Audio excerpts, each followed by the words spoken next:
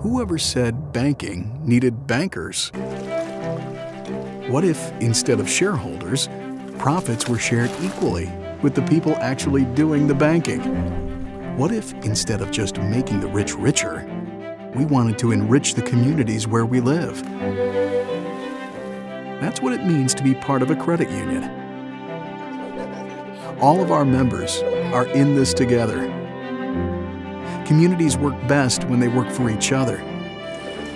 Cooperation strengthens us all. And when that happens, it turns out we don't need bankers. We just need better banking. Discover the credit union difference and find out how much stronger we can be together.